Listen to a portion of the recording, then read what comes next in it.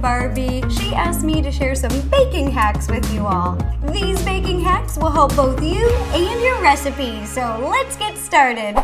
First baking hack is to freeze your cookies for 10 minutes before baking. I know it sounds a little bit silly, but it helps them hold their shape. This hack is really helpful if you're ever making sugar cookies with specific shapes or designs, like little stars or hearts, not just standard circle cookies.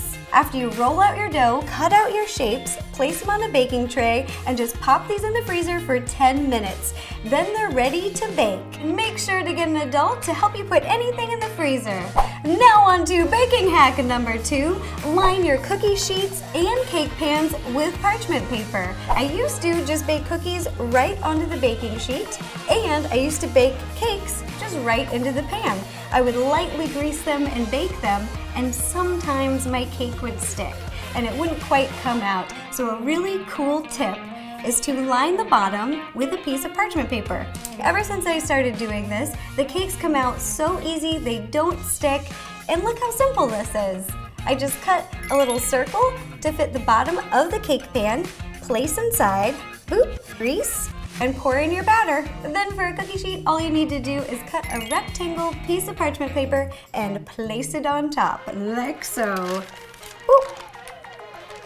Easy peasy. Baking hack number three, you can use plastic sandwich bags to decorate cookies. Oftentimes, bakers or pastry chefs will use decorating bags or piping bags. They're fitted with a little coupler and metal tip at the end, ranging in different sizes to decorate cakes, cookies, cupcakes, you name it. If you don't have any of these at home and you want to decorate some cookies, just scoop your icing into a little sandwich bag and cut off the tip.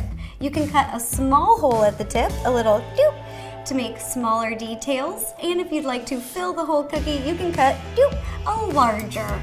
Baking hack number four, to remove the excess air bubbles from your cake batter, tap the pan on the counter.